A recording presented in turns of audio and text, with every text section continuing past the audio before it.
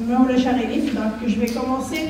Alors, on a vu une main levée, donc. Euh, ouais, c'est de vous avoir interrompu tantôt, parce que vous avez dit qu'on peut vous arrêter à tout moment. Donc je ne voulais pas euh, rester jusqu'à la fin parce que après ça va être moins pertinent. Je ne comprends pas. Bon, c'est le simulateur, etc. Moi, ma question, ce n'est pas sur cela que je veux C'est par rapport, c'est quoi l'apport de mettre comme héros euh, comment il s'appelle déjà Salim Hajj, si on a l'Italie comme héros, comme référence, Salim Hajj, l'autre, comment il s'appelle, Agar Abdelkader, on va rajouter, euh, euh comment il s'appelle, Boubourla, et l'autre. B10, on la rajoute, on va rajouter les autres. Qu'est-ce qui va nous rester pas, dis-moi, pour moi, ce n'est pas mes repères. Excusez-moi, je Ça ne peut pas être les repères des cabines. Ça, ça ne se peut pas parce que si on change de repère de personne, c'est quoi alors notre problème de revendiquer, etc. Avant que je donne la parole à M. H pour répondre, moi je, je, suis ici pour organiser le débat. On ne peut pas faire dire à nos conférenciers ce qu'ils n'ont pas dit. Donc là, ce qui va être enregistré, c'est que M. Hirsch aurait dit qu'on va l'ajouter comme héros. Ce mot vient de vous, il ne vient pas de nous. Et on va le laisser répondre, on va le laisser répondre, mais on ne peut pas faire dire aux gens ce qu'ils n'ont pas dit. Il n'a pas, pas contre vous, il n'a pas dit euh, c'est un héros, revendiqué, on va lui demander de l'expliquer, donc on lui pose des questions sur ce qu'il a dit. Il n'a pas non plus parlé de Benibadis. Oui, moi je, je voilà, c'est parfait. Alors, je laisse donc M. je répondre à votre question et merci beaucoup. Autre question. on va Il n'y a pas de problème. Donc, votre question. Euh, et ensuite, on va prendre trois personnes et on répondra aux questions à, à, successivement. Donc, je vous refais. Question 1. En fait, juste quelques explications. Ma question est ما كيستيون غادي نروح نوصي كاوريد لوجيك فين ديالنا سكوي مع الناس نكوني بدا بران بوكو تفهمه يسهل انصروح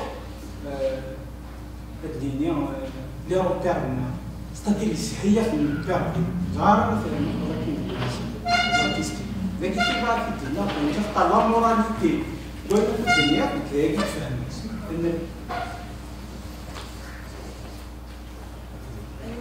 Merci.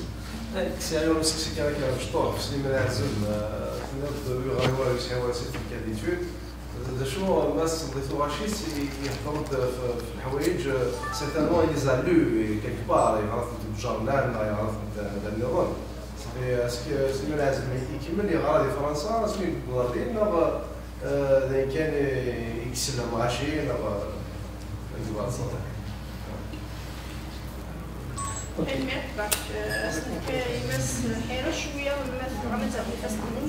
D'abord, je tiens à vous remercier vraiment pour euh, ces questions.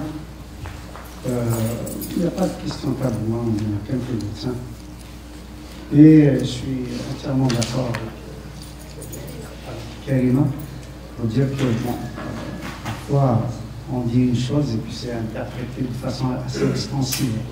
Ce que je dis euh, par rapport à Messa Hajj, et à Bouboula, je dis que c'est nous qui avons fait de ce personnage euh, des héros. Euh, je ne dis pas que c'est des héros pour nous, non, des repères pour nous. Je dis euh, Messa Hajj, c'est un héros national. Et il est devenu le personnage qu'il fut grâce aux familles. D'abord, il y avait euh, image et ses compagnons qui avaient fait appel à lui en 1927, non pas en 26. La création de l'étoile nord-africaine, c'était en, en, 26, donc c'est à peu près un an après.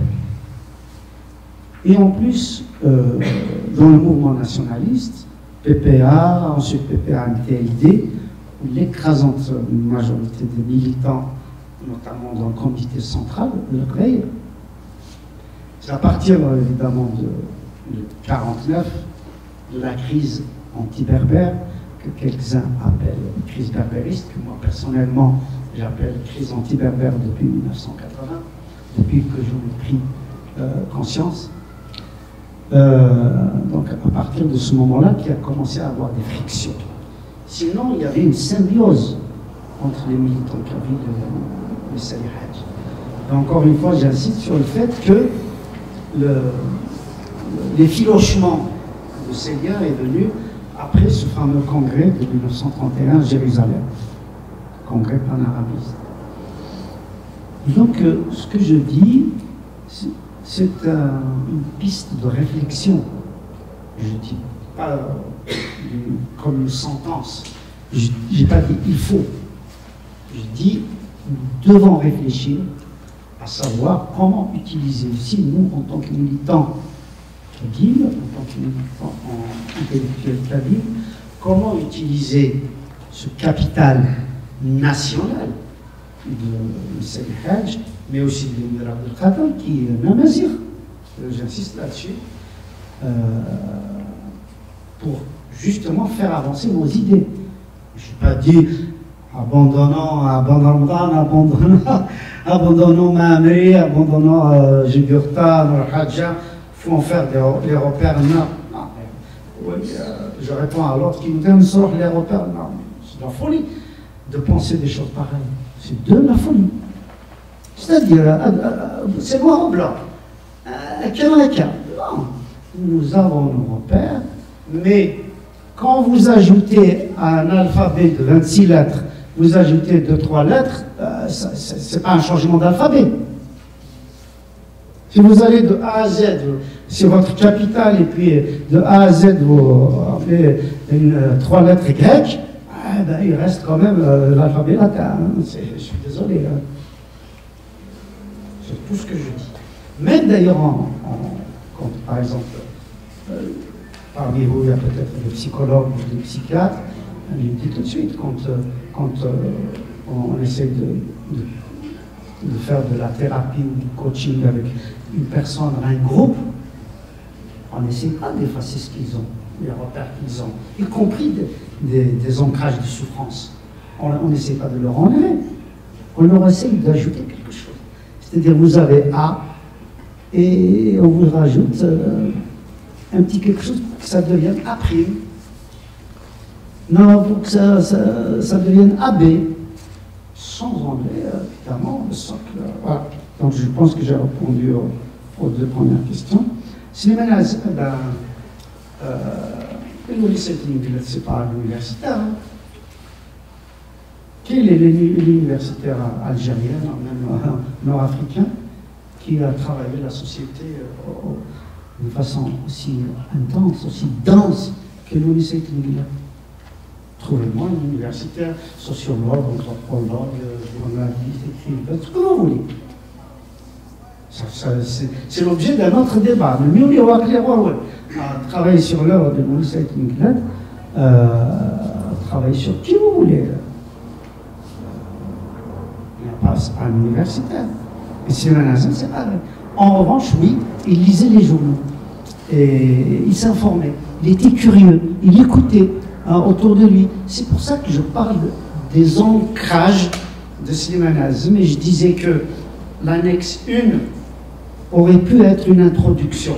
Parce que l'annexe 1, euh, euh, j'ai jugé utile de prendre les, les, événements importants qui ont marqué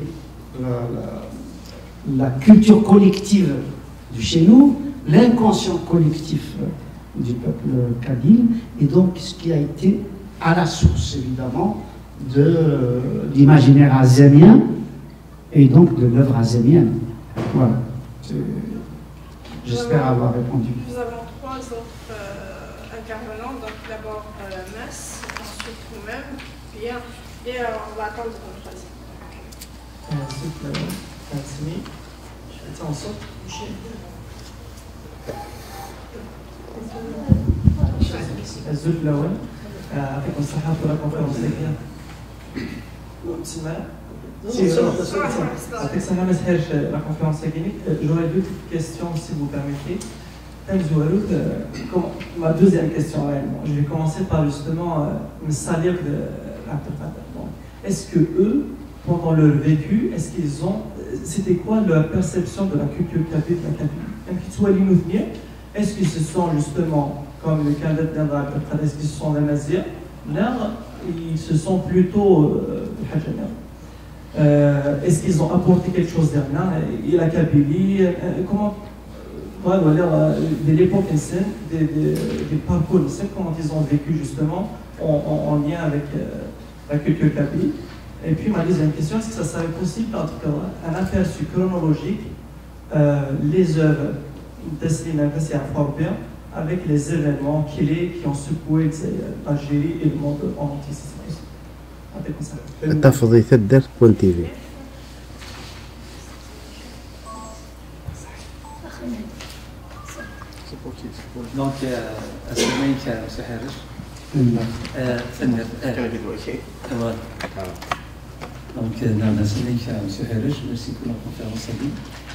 يمكن يقرب الاحقر يقضي حصبه يجي نهضر ديما والله قري كنقول غير الحرام ما روحها على كونستركسيون دي المغرب ان غنشارك ثم تكنيسيين الناس تنفروا باسكو يتهضر راسك هذه غير هذا زعما آه هذا قلت تركاج في من حكي لا فينير بور لالجيري اي كيل باس بور لا كارير يمكن لي اني شغل ندير شي تورا لي كومبا قاعدين طرا ثوي قاعدين لي سوفرونسي تحكي دوك لا كابيلي دوبي 1871 اي تو سا نسوفرين هي ابري ثورا رافن السند استهدر استعرف اكتك ان بتيت اكزومبل استهدر استعرف اي ما نفهمش صافي مازال خدمنا لي فور باش هذا يحفظنا تقبيليت نعطينا الزق اذا كون كان يخدم لي فور ترى البروبليم اسكو اون دوا سو ريكروكفيي سو نو ميم انقي منازل لما باش تعقل فاض مركزي ساكن قارن نكمل كومبا زرق بلي ضول.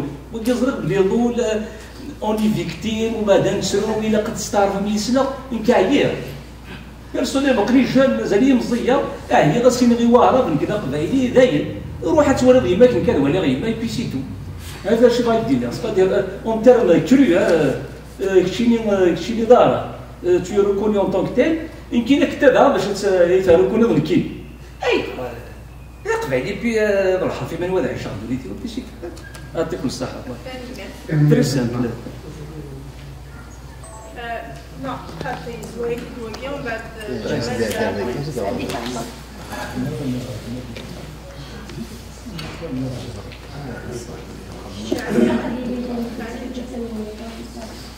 Oui,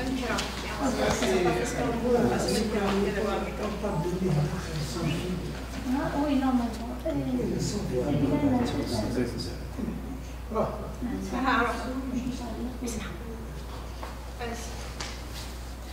Merci pour euh, votre intervention. Moi, j'ai beaucoup apprécié parce que je ne connaissais pas Slimane Azim dans le.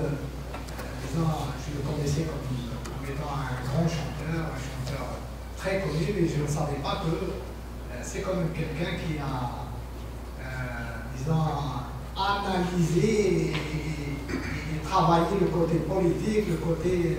Euh, je, l'ignorais sincèrement. Donc, merci beaucoup pour cette conférence.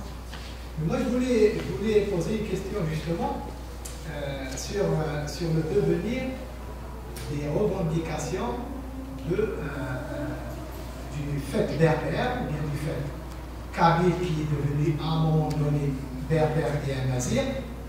Est-ce que vous ne pensez pas, justement, que en matière d'évolution dans la psychologie, disons, du combat, qui a commencé d'après moi et d'après beaucoup de, de spécialistes avec la prise de, conscience à partir de 1926 du fait de l'identité.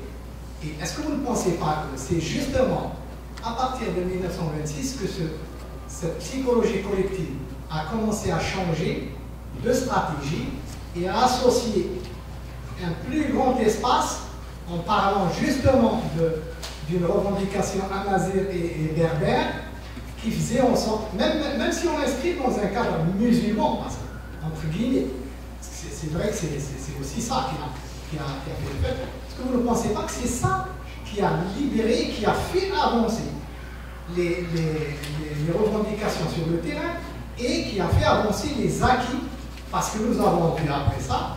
Et moi j'inscris, euh, maintenant que je connais un peu mieux euh, Slim qui, qui, est né les années 18, donc qui avait à peu près l'âge d'un adulte, disons, qui réfléchit des années 40, je l'inscris dans, le cadre de ce changement qui est venu à cette époque et puis qui a été aussi, euh, disons, suivi par, notamment au point de vue politique, toute la crise qu'on appelle la crise berbère des, des, années 40, des années 47 et, aussi dans la guerre de libération.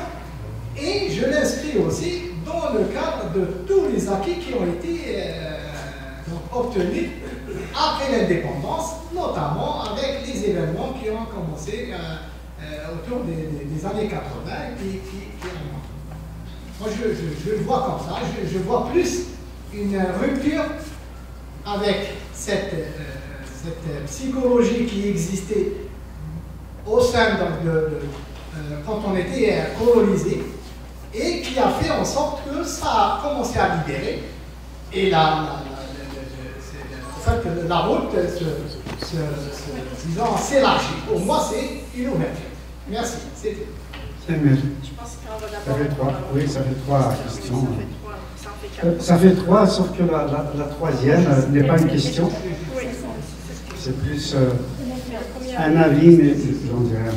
Donc, la, dans un premier temps, la question de D'ailleurs, le mot Maghreb, moi, je ne l'ai pas prononcé. Hein, je n'aime pas ce mot-là parce qu'il nous rattache euh, à la fois géographiquement, mais aussi psychologiquement et culturellement euh, euh, au Moyen-Orient, qui est la source de, de nos malheurs.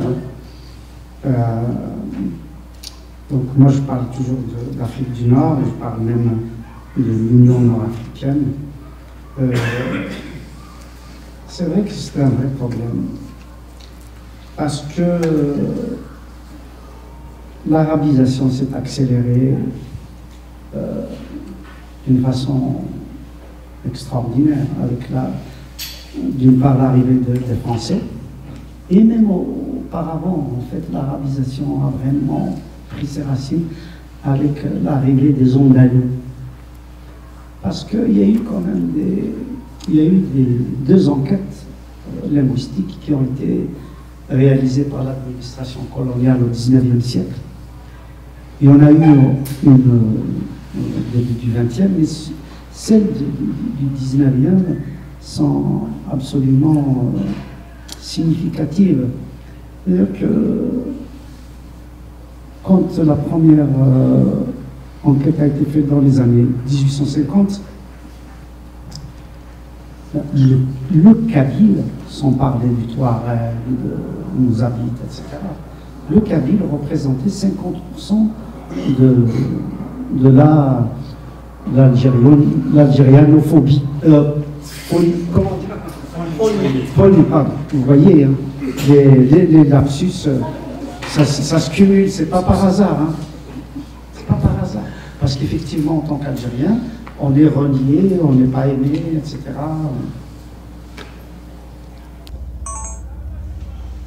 Donc, euh, la langue, la langue kabyle, sans parler de la langue amazigh, euh, était euh, majoritaire quand les Français sont arrivés en 1830. Quand on prend l'ensemble, parce qu'à l'époque, même la région de l'Oranie hein, parlait encore, pour une bonne partie, euh. À titre d'exemple, jusqu'à aujourd'hui, en 2023, les noms de poissons dans la région de Razawet, c'est des noms de poissons en berbère. Ce pas des noms de poissons. C'est les seuls qui ont gardé le nom de poissons euh, en berbère. C'est bien en Algérie, qui ont un petit peu la Tunisie. Mais euh, on ne retrouve que dans les travaux d'un linguiste italien dont j'ai oublié le nom, et qui a été publié paradoxalement par la SNED euh, en 1976 c'était le, le, colloque euh, arabo-berbère qui a eu, lieu à Malte en 1976. On voyait justement que le nom de poissons en Afrique du Nord, en fait, c'est le nom de poissons en Asie. Donc j'ai fait juste une parenthèse. Donc cette question de arabe, il faut qu'on fasse l'effort, etc je ne suis pas sûr que la question se pose ainsi. Bien sûr, il y a un rapport de force, il y a une guerre des langues. Regardez au Québec, toute l'énergie qui est dépensée justement pour euh, résister à l'anglais. Et, même aux États-Unis, hein, dans la partie sud, hein, vous savez qu'aujourd'hui, euh, les anglophones se posent des, questions de comment résister à, l'espagnol. C'est extrêmement important. On ne sait pas si d'ici 2100, euh, et les Américains en parlent, hein, 2100, est-ce que les États-Unis ne seraient pas euh, Hispanophone. Oui, hispanophone, et ils parlent, enfin, casti, castillanophone. en fait, c'est le castillon, parce que l'Espagne, c'est aussi le catalan, le basque, etc. Donc, euh, oui, c'est une vraie question. C'est une vraie question, mais je ne suis pas sûr qu'elle se pose euh, en termes de etc. Vous savez, c'est un phénomène historique, anthropologique. Donc il faut qu'on gère ça euh, de façon euh, intelligente, qu'on gère ça euh, d'un point de vue déjà intellectuel et que l'on puisse justement faire en sorte que ça déteigne sur la société. C'est-à-dire, c'est pas en, question, voilà, moi je vais construire une muraille pour que la cabidophonie qui est devenue kabylophobie. Euh, vous voyez, tout à l'heure c'était des lapsus, mais maintenant je, le dis en toute conscience. Euh, c'est pas ça qui va nous épargner quoi que ce soit. C'est pas le fait de dire, ouais, nous connaissons, nous connaissons arabe, on fait des efforts pour apprendre l'arabe. Peut-être que aussi la France et puis l'Algérie indépendante ne nous avait pas imposé l'arabe officiellement, peut-être justement qu'on aurait ignoré, l'arabe. Imaginez que euh, que les Français, euh, au 19e siècle, au lieu d'imposer les bureaux arabes, imaginez si c'était des, bureaux kabyle. Imaginez qu'à l'université d'Alger, c'était euh, la, langue kabyle qui avait pris qui, était qui, qui aurait été privilégiée par l'administration coloniale. Mais vous savez tous, comme moi, que le rêve des Français, notamment à, partir de Napoléon III, le rêve des Français, c'était d'instaurer un, royaume arabe qui aille de Casablanca jusqu'à Damas, et puis, tenez-vous bien, qu'il soit, euh, euh, soit administré, enfin, symboliquement par l'émir Abdelkader. Pourquoi l'émir Abdelkader a été épargné euh, par la monarchie française? C'est pas pour les beaux yeux de l'émir Abdelkader, c'est pas parce qu'il a travaillé avec la colonisation française. Il a combattu pendant 17 ans le colonialisme français. Évidemment, quand, euh, quand, euh, il a été, quand il a perdu la guerre, comme ça, quand il, a été remis, euh, remis au général Lamoricière et qui a été remis par le général Lamoricière au duc d'Aumale, parce que symboliquement c'est lui qui représentait la, la, monarchie en Algérie. Le duc d'Aumale, on a fait tout de suite un allié potentiel, parce qu'ils sont stratèges. Hein. Ils ne pensent pas à l'immédiateté, parce que sinon il aurait, il aurait, coupé la tête tout de suite, et puis on, finit, on, finit avec ça. Mais ils se sont dit, on va le prendre, on va signer des accords avec lui, on va le travailler, et il va servir de pièce maîtresse dans le cadre justement de ce projet global du royaume arabe qui aille encore une fois de Casa jusqu'à Damas. Donc, ils l'ont utilisé. Et d'ailleurs, quand, quand euh, il y a eu euh, la Deuxième République, quand la monarchie a été abolie, euh, donc l'émir Abdelkader était remis au cachot. Il ne faut pas croire que l'émir Abdelkader a été constamment choyé en France quand il était quand ils l'ont fait venir en France. Il n'était pas tout le temps dans le château. Hein. Et donc après, quand, euh, euh, le roi Philippe est revenu, donc que la République donc, a, été battue, le roi Philippe a redonné encore euh, de l'espoir à l'émir Abdelkader. Ainsi de suite. Vous savez, le sort de l'émir Abdelkader, c'était le sort de la monarchie ou de la République. Et l'apothéose, c'était avec Napoléon III. Il est devenu l'ami de Napoléon III. Il tient, quand il voyait des ambassadeurs euh, euh, européens de toutes sortes, il tient, l'émir Abdelkader, C'est extrêmement important, justement, comme fait historique nous concernant. Parce qu'il était sûr qu'ils allaient faire le, calife ou le monarque de ce royaume. De royaume. Et donc nous connaissons. Nous connaissons qu'est-ce qu'on a retenu On a retenu que les médailles qui ont été accrochées sur la poitrine de l'émir Abdelkader par non seulement les Français, les différents régimes euh, français, mais aussi par les Américains, par les Anglais, par les Hollandais, par les Allemands, etc. Parce qu'il euh, avait euh, il avait pris position pour la protection des chrétiens d'Orient lorsqu'il y a eu euh, la guerre entre les chrétiens et les musulmans en, Syrie et dans toute la région. Donc l'émir Abdelkader, évidemment, a fait tout pour protéger les chrétiens. Il y avait des milliers qui étaient venus dans son château euh, en, en, Syrie. Donc il a été décoré dans ce sens-là. Il a sauvé non seulement les chrétiens, mais aussi les juifs.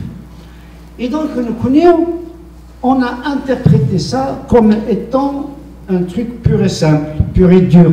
Il s'est rallié aux Français, donc, ah, on ne veut pas de ça, on va aller machin, etc.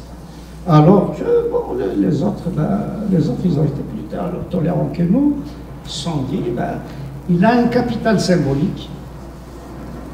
Eh ben, ils, ils ont récupéré ce capital symbolique ils en ont fait un héros national. Et nous connaissons, on en a fait un anti-héros. Donc, qu'est-ce que je dis, moi? Je ne dis pas qu'il faut que les Kabyles en fassent un héros, je dis qu'il faut réfléchir à ça. Voilà, c'est tout. Je dis que ça fait partie des réflexions à mener dans nos combats, à la fois intellectuels, culturels, historiques, etc. C'est pareil pour Bon, là, il n'y a pas de polémique autour, parce qu'il était vraiment le lieutenant de la, la et, et, je crois qu'il a été accepté en tant que tel. Et puis, il n'a pas été récupéré justement par le pouvoir algérien. Donc, euh, pour simplement. Donc, pour revenir à la question, il n'y a pas de réponse en fait à cette question la Kabylie, est-ce qu'il faut son indépendance, son autonomie, là, est-ce qu'il faut une décentralisation, est-ce qu'il faut euh, un, système? Parce que c'est les Ménèzes, ils chantent les deux. C'est les Ménèzes, ils parlent de l'Algérie, mon beau pays, mais ils parlent aussi de, de il a Aziza. Il a les deux. Quand euh, il lance le Lus, ah, il dessine la géographie de la Kabylie,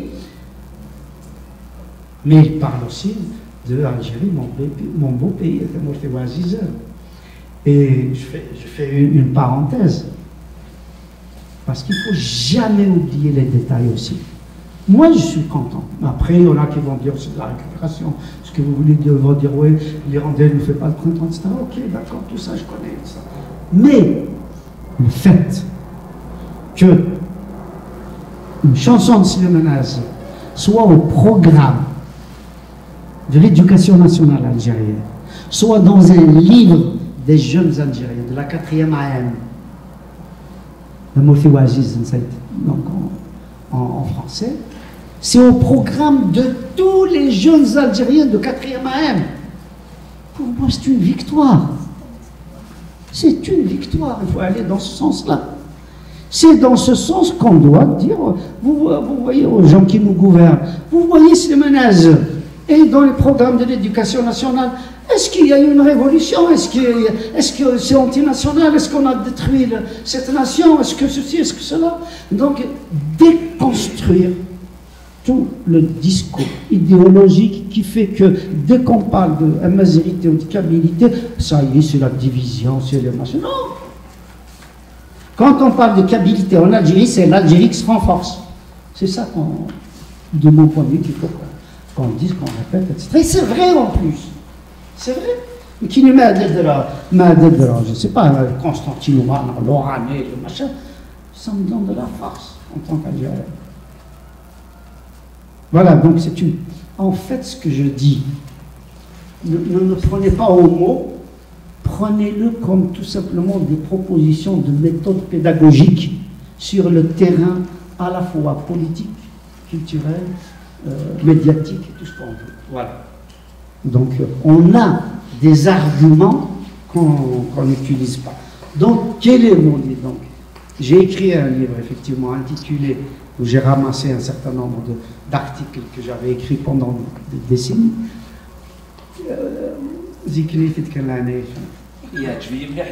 Voilà. Donc, euh, quel avenir pour, euh, pour l'Algérie, quelle place pour la Kabylie? C'est une question qui, qui, vaut, la, la, peine d'être posée. C'est vrai qu'il y a une spécificité kabyle. Comme il y a aussi une une spécificité mozambique, ainsi de suite. Même Constantinois, Lorraine, ce n'est pas la même chose. Ce n'est pas du tout la même chose. Constantine a été une capitale depuis des siècles et des siècles. Alors que l'Oranie, euh, ils sont beaucoup plus influencés par euh, l'Espagne, le Portugal, le Maroc, etc. il y a des cultures complètement différentes, euh, une grammaire émotionnelle différente. Le rail est né à Oran, il n'est pas né à Constantine, ainsi de suite. Et donc, oui, merci d'avoir posé la question. Aujourd'hui,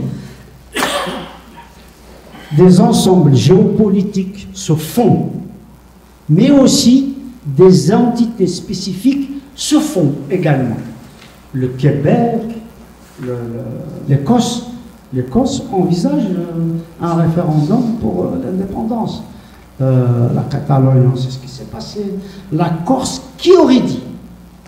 Qui aurait dit que dans un pays comme la France, une France jacobine, mais alors administrativement centralisé comme aucun État au monde.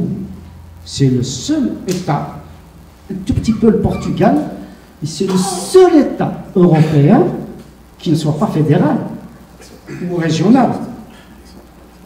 Il y a deux modèles en fait. Et c'est ça qui s'est développé dans le monde entier.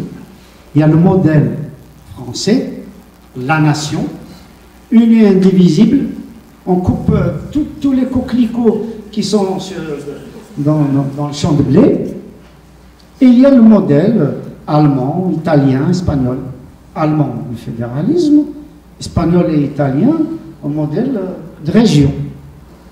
De région où, effectivement, il y a une autonomie euh, régionale sans que ce soit des pays fédéraux. Il y a des régions avec leur langue, leur spécificité, leur parlement, leurs prérogatives et en Espagne, par exemple, la, région qui a le plus de prérogatives politiques, géopolitiques, économiques, culturelles, linguistiques, ce n'est pas la Catalogne, c'est le Pays Basque. Le Pays Basque. Donc, il y a des modèles. On a suivi le modèle français euh, des années, voilà, du XXe siècle. C'est même pas la France d'aujourd'hui, parce que la France d'aujourd'hui, encore une fois, qui aurait dit que la Corse allait avoir son Parlement? C'était un tabou. C'était la guerre contre la, les, Corses. Nous connaissons un parlement, un parlement corse. Il faut dire ça à, la droite française, et même à, la gauche française, même à Chevènement. À Chevènement, euh, la Corse va avoir son parlement. Euh, soit il se suicide, soit il prend le maquis. Eh bien, la Corse a son parlement. Voilà, donc c'est le fait. Alors maintenant, la troisième question, ce n'était pas une question. Euh, Slimane ce n'est pas un chanteur, c'est un penseur. De mon point de vue, c'est mais c'est qu'un point de vue. Je sais que ça peut créer polémique, mais je l'accepte, je l'assume. Nous avons, nous, en tant que Kabyles, à la différence des Occidentaux. Les Occidentaux, on va dire grosso modo, depuis la fin du Moyen Âge, jusqu'au début du XXe siècle, la pensée occidentale est passée par la poésie qui a été traduite en théâtre. Vous allez de Shakespeare à Molière, à Racine, à qui vous voulez, euh, Corneille, ainsi de suite, euh, Pirandello, et qui sais que sais-je encore, Brecht, c'est de la poésie en théâtre. Nous connaissons la pensée kabyle est par la poésie, mais chantée. C'est la seule différence. Vous avez la poésie forme de théâtre vous avez la poésie de. Et nous, mais ça c'est moi, euh, pour moi, il y a deux penseurs. Il y a Slimane Azim, il y a Louis Saïd le reste c'est des chanteurs. De grands chanteurs. De grands chanteurs immenses. Mais il y a deux penseurs. Point final à la ligne. Et j'y suis prêt dans une conférence scientifique à aborder ce thème. Deux penseurs. Slimane Azim, Louis Saïd Et le reste, il y a des chanteurs de talent qui ont dit des choses extraordinaires, des Matoub, des Yidir, des Chef Khaddam, des Kamal Hamadi, des Chef Hamani, des, des gens extraordinaires, extraordinaires. Mais la pensée à la fois de philosophie politique, d'ethnophilosophie et de philosophie universelle, c'est le nazisme et Voilà. On n'a pas répondu aux deux premières questions. C'était quoi? Ah oui, la perception de M. Oui. Ah oui, c'est très important. Ah oui, c'est très, très important.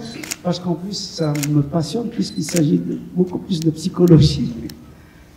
Ces 20 dernières années, c'est un thème sur lequel, qui m'intéresse beaucoup. Euh, c'est une casquette que, mon ami Kassim ne connaît pas de moi.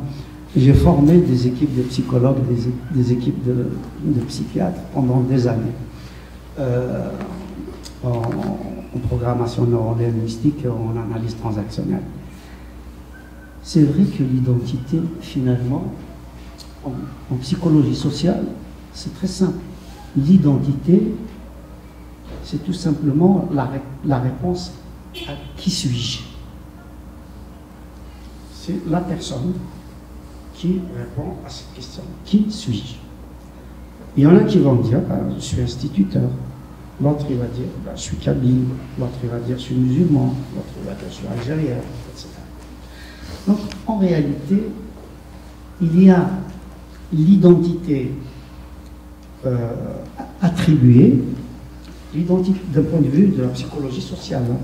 Il y a l'identité attribuée celle que les autres vous accordent, mettent l'étiquette sur votre front.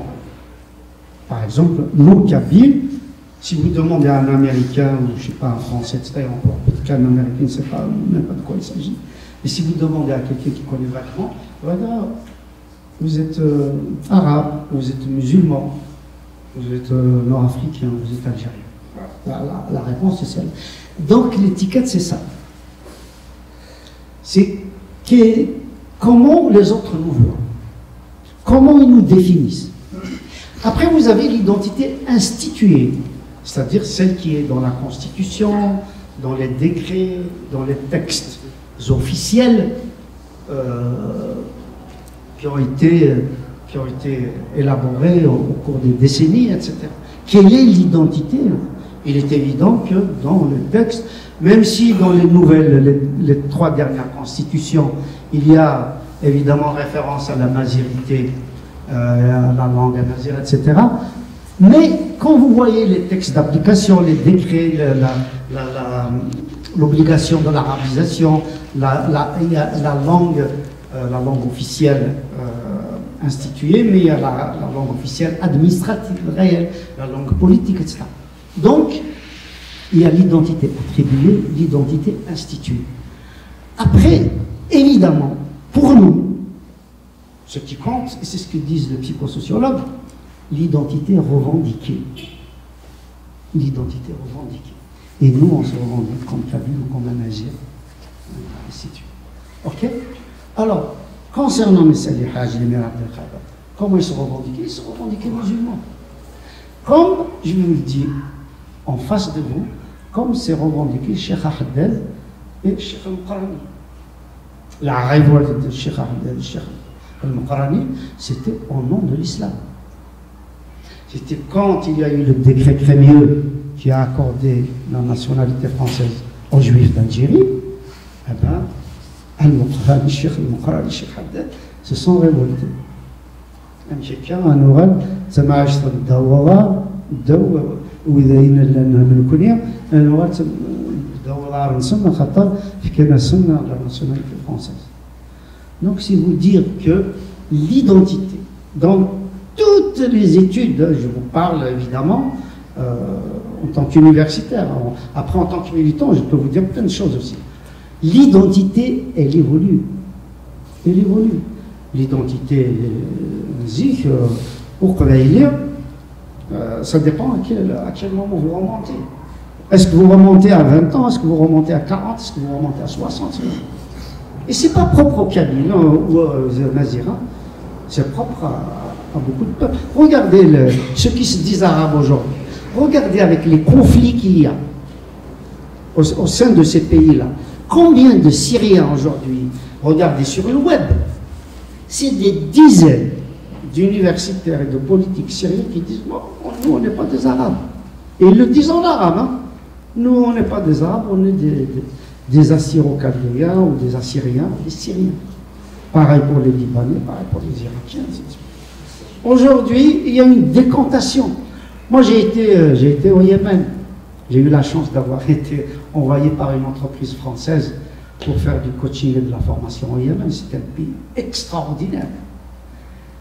Là, je vais vous raconter cette anecdote, mais il vaut mieux que je la continue tout à l'heure au cercle, que ce soit pas sur euh, le, micro, pour euh, la suite un peu, un peu drôle à vous donner. Mais je termine là-dessus. Euh, j'ai été au Yémen. Une fois que j'ai fait ma, mission, j'ai pris 15 jours juste pour connaître le Yémen. Donc j'ai pris un guide yéménite qui parlait parfaitement bien français et anglais. Et il bouillait partout.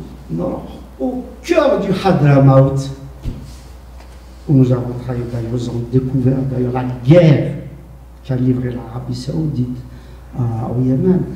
On dit officiellement dans les médias que c'est un problème chiite, sunnite, etc c'est de la blague. Moi, j'ai participé, j'ai même été dans des réunions avec, euh, je pense que je peux le dire maintenant parce que ça fait au moins 10 ans, avec Total, qui a investi 4 milliards et demi de dollars parce qu'ils ont trouvé des gisements de pétrole et de gaz à moins de 100 km de l'océan Indien. Donc vous voyez le Yémen à côté de l'Arabie Saoudite devenir une puissance pétrolière ou gazière.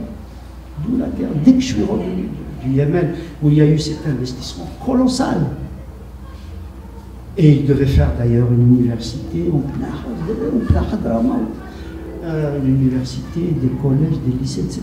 Tout pour euh, un environnement euh, qui soit évidemment, qui accepte ces, investissements-là, avec un débouché encore une fois sur l'océan Indien, à 100 km de, de Oman.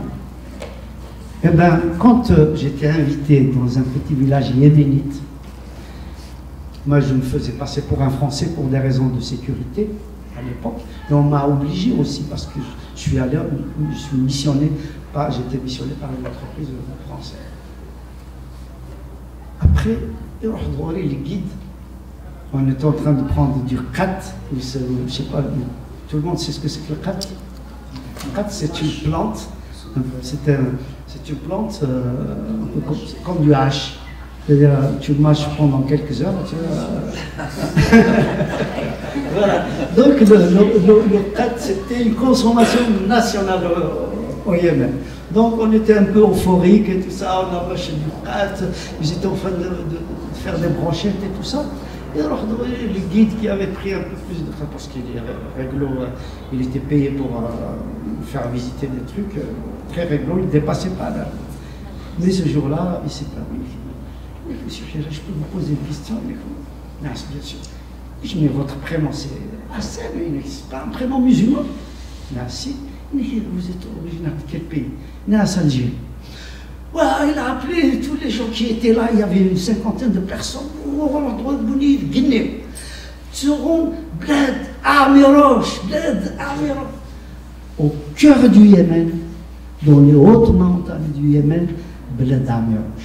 C'était ni Bled, ni Bled Boumdier, ni Bled Bembella, ni Bled Zidane, ni Bled Amiroche. C'est vous dire, c'est vous dire justement qu'il y a un capital historique qu'on n'exploite pas, qu'il y a un capital justement émotionnel aussi. Vous voyez dans quel état je suis.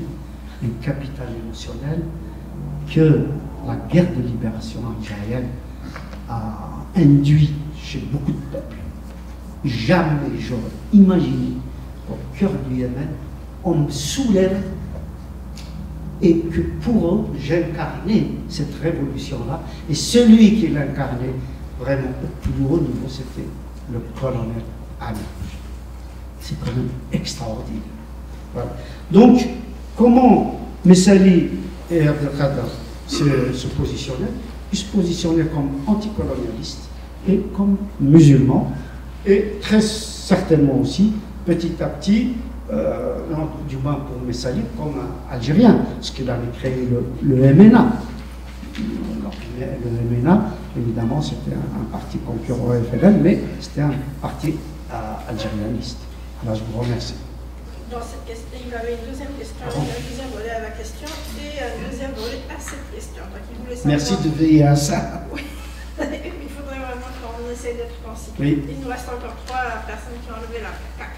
Donc, euh, il voulait savoir la chronologie des, euh, des œuvres de Slimane. Ah oui, mais c'est un travail énorme. Je, il faut dire, euh, je ne vais pas pousser à, acheter le livre, hein. mais c'est un travail extrêmement difficile.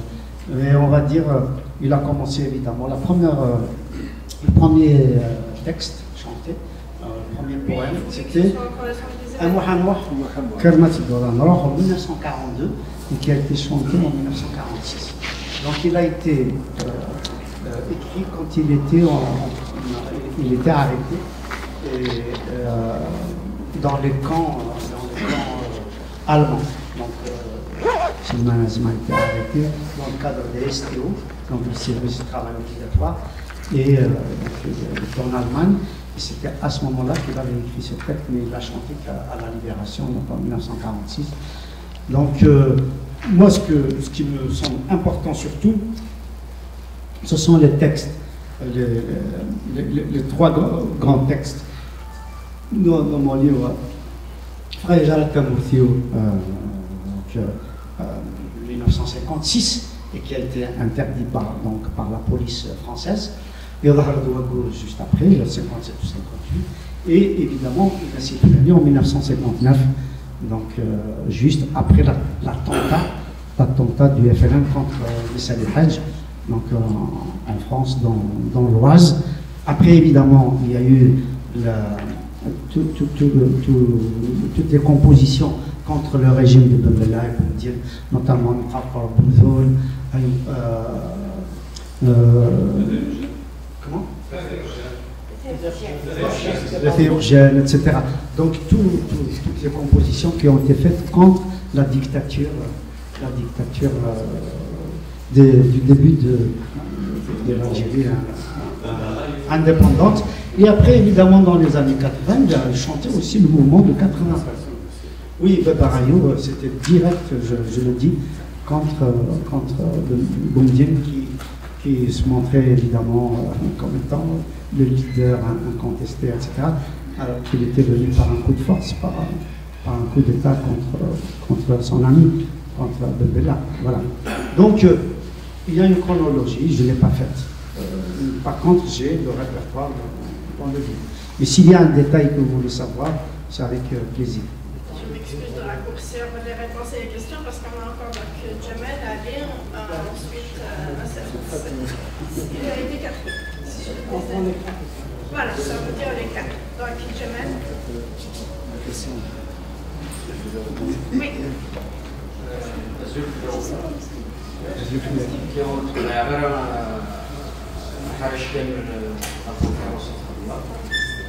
Donc, il y a 40%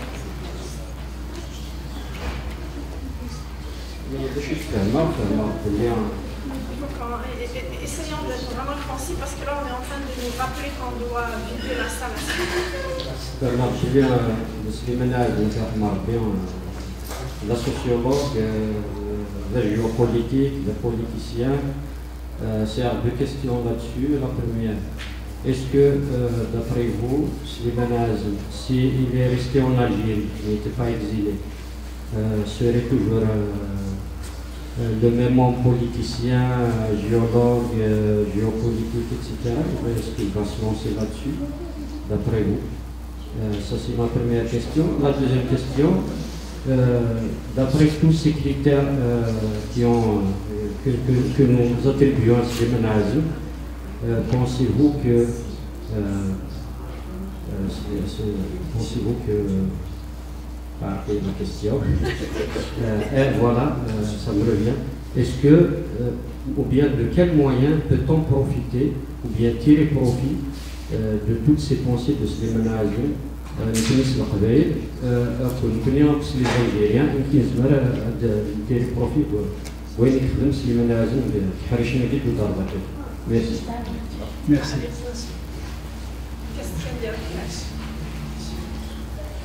ثاني باش حرش اللي باغي يثين بكايا كي لافار آه، تنميرت السوجي كي تختار روسي. آه، كاين سيرفو اللي هكا تكتب هذيك آه، في لايجر دموكي وفي ثرولية السي معازل بلوس اسمه جيوغرافيك سوسيو جيوغرافيك ثرولية السي واضيين au lieu de, le relier à Soklinis euh, l'âge, parce que euh, c'est le produit de la culture avant, avant l'indépendance, déjà les premières conquêtes qu'on a portées, les, les, les premières ripostes, étaient ripostées à l'Académie du Sam euh, à se défendre à Alger, au nom de l'art, donc aussi de faire mieux.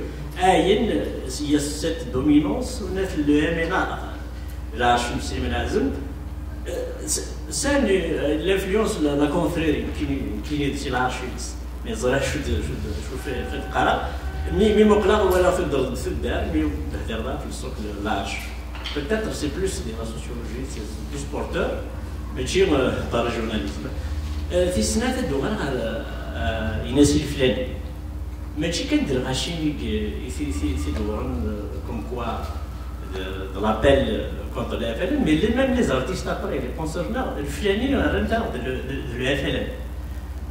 Il y a aussi la coïncidence avec la, la PD Barabzara, avec a des clarifications, qui dit à la version Aguilish. Elle ressemble, grâce, grâce Inati Daknir, je fais un, parallèle avec la pensée de. Il que vos, euh, vos ennemis de demain sont pires que vos ennemis d'aujourd'hui. Donc, c'est un avis. Mais puisque le, le travail est plus. Un genre de mortis, il faut qu'il il couvre largement, mais il n'a la vie par rapport à ce qu'il soit. Mais la vision de l'art, c'est comme le sujet.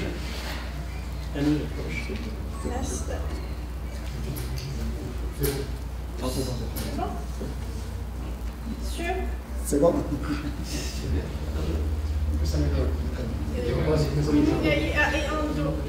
D'accord, c'est parce qu'il a fait à 5 heures, on doit quitter la salle. Je vais essayer d'être court.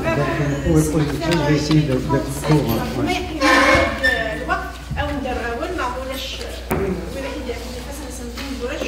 Alors,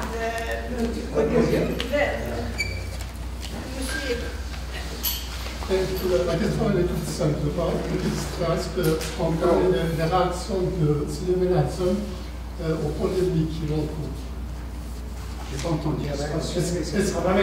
Est-ce qu'on connaît les réactions de Sylvain Hassan aux polémiques qui qui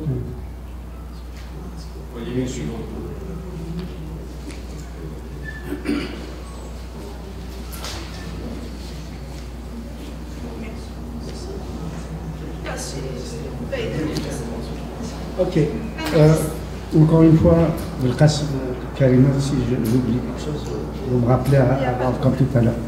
D'abord, euh, je continue de vous remercier à chaque fois pour euh, les questions posées, parce que c'est comme ça qu'on clarifie le débat et qu'on avance. Euh, Slimane Azim, s'il était resté en, en Algérie, est-ce qu'il aurait été le même? Évidemment très difficile de répondre. Hein. Mais connaissant le personnage maintenant, surtout à, travers son œuvre, lui, je ne l'ai pas vraiment connu, je l'ai rencontré évidemment, mais j'ai rencontré beaucoup plus son frère Roujma et beaucoup de ses neveux, ses nièces, etc. Mais surtout son œuvre. c'est surtout son œuvre à laquelle j'ai tenté de rentrer au mieux, au mieux avec mes petites connaissances. Euh, je pense qu'elle aurait été le même. Euh, la preuve, c'est que Louis il était resté en Algérie. Elle, est resté le même. Voilà. Donc, euh, pour moi, c'est une réponse. Il suffit de, de voir euh, Louis pour se dire qu'est-ce qu'aurait été ce management à, l'intérieur du Alors, comment on peut tirer profit de la... Ça, c'est une excellente question. Moi, je pense qu'il faut... il faut non seulement plus, oui, mais vraiment très, très rapidement. D'abord, faire connaître sa pensée. C'est extrêmement. Déjà, réécouter ses chansons. Euh, peut-être, euh, vous, qui êtes là justement euh, présent, réécouter son répertoire à travers cette nouvelle lunette que je vous propose. C'est-à-dire, tout simplement, la lunette universitaire, la lunette analytique c'est-à-dire en utilisant à la fois l'anthropologie, la sociologie, l'histoire, la psychologie, la psychanalyse, etc.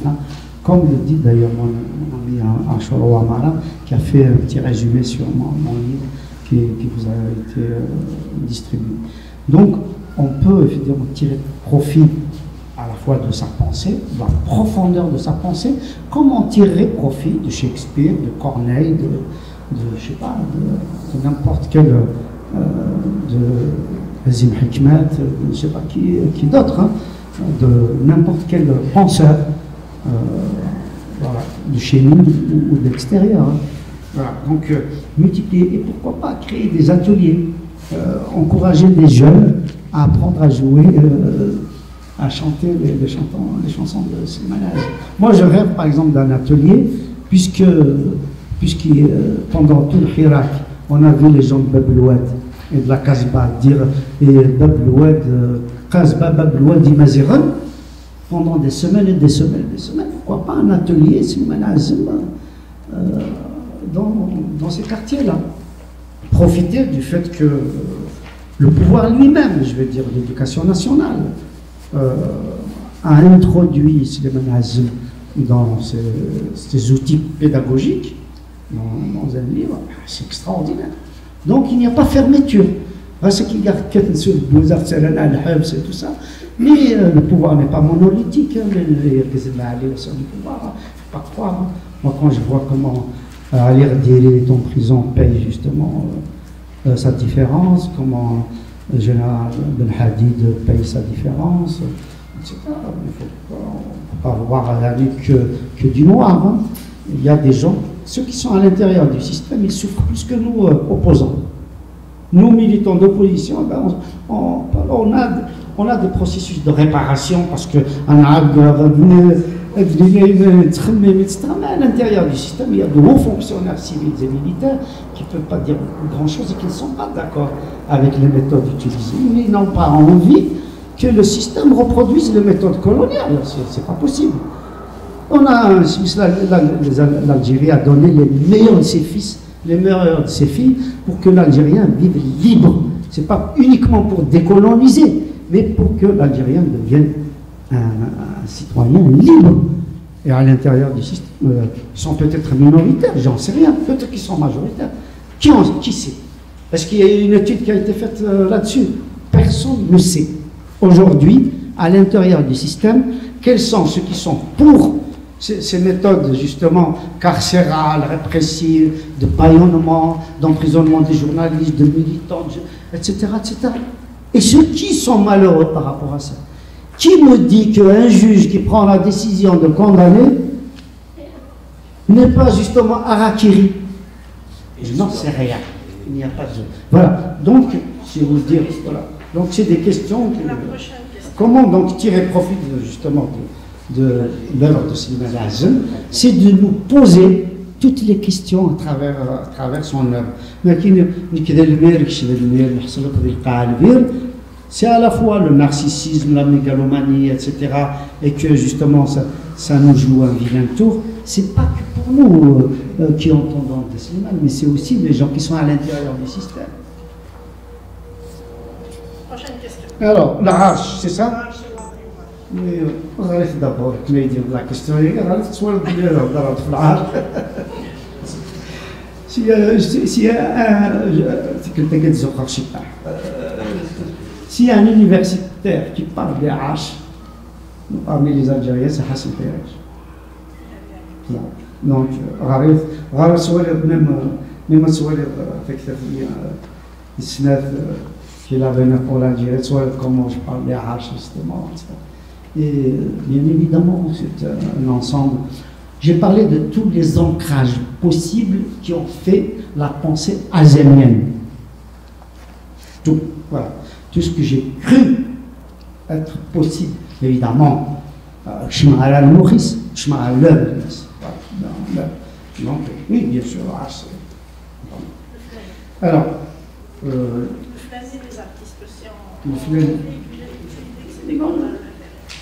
euh, c'est une interprétation qui a été faite par certains.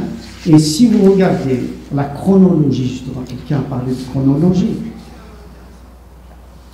le reproche fait à Slimane sur Inès Filani, c'est à partir de 1967. Le timide en 1959.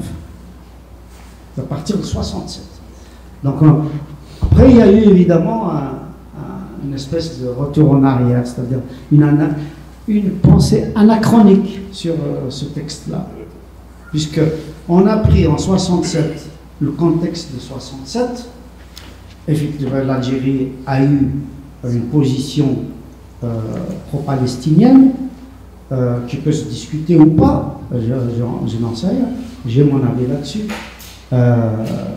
mais c'est pas le, je pense pas que ce soit le lieu. Euh, mais ça n'a rien à voir ni avec la paix des braves. En fait, la paix des braves, c'est une tactique gaulienne qui consistait seulement à prendre le Sahara. Vous voulez garder le Sahara et euh, nous donner l'Algérie du Nord.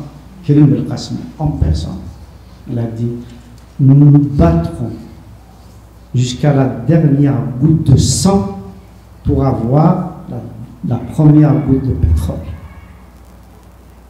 C'était clair, net et précis. Voilà, je crois que tout est dit, la messe est dit. Voilà, exactement. Après les réactions de Slimane Azmour, polémique, je vous dire, il était un peu comment, très déçu, très, très malade. Il dit d'ailleurs dans une interview euh, qui a été faite euh, à l'époque. Euh, je sais plus la, radio, euh, Radio Tamazir, avec euh, Han Saadi, avec Mohia, avec Saïd Boudel, euh, où il disait qu'il en était effectivement malade de tout cela, mais que euh, il disait c'est très simple. Il revient, lui, justement, en 1967. Il dit, écoutez, Iranien, Iranien, ils ont interdit ces deux chansons. Il le dit lui-même dans une interview. Il dit Zayir, au lieu d'interdire justement, il ne s'il fait non éventuellement des choses ils ont interdit tout l'œuvre. Il est cette que c'est comme ça, c'est une touche, il est في اللسان بدا عيون يسمي ودير ذاك يكسب كلش محل كلش دونك افكتيفون سلمان هزون on était malade, mais ça n'a pas affecté au sens de, de baisser les bras. Ça l'a rendu encore plus combatif. Voilà. Suleiman Azoun est resté combatif jusqu'au dernier souffle. Moi, j'ai eu le privilège d'avoir assisté à son dernier gala en 1982 à l'Olympia et il avait pratiquement une voix éteinte. Je le dis dans, mon livre d'ailleurs.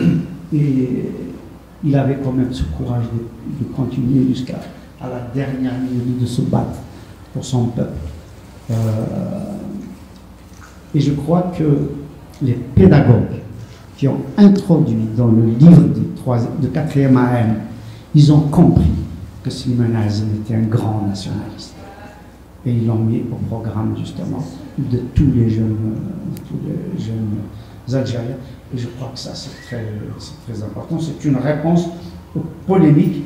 Donc sa réaction, c'est il en était triste, il en était affecté, il a dit que c'était injustifié, il a dit comment il aurait dû être censuré en disant oui, euh, censurez les, textes que vous pensez être contre vous, mais ne censurez pas toute l'œuvre. C'est ce que les Français ont fait en 57. Et donc, voilà, Ismail est resté droit dans ses droits. Il a pourtant été euh, du côté de son peuple. Et je vous remercie vivement.